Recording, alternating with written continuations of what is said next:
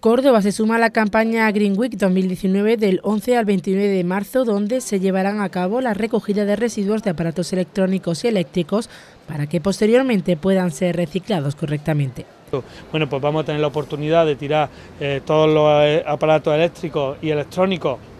que no nos sirvan. Esto forma parte también del trabajo que hace Sadeco dentro de la economía circular, que es tan importante para nosotros, el reciclado y la renovación de los eh, productos, fundamentalmente los aparatos eléctricos y electrónicos que además llevan unos componentes que son eh, bueno, pues peligrosos o bastante nocivos para el medio ambiente